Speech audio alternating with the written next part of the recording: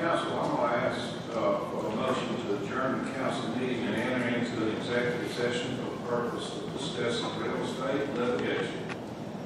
And uh, I could have that motion at this time. Second. Second. Motion and second. All in favor say aye. Aye. All opposed. Okay.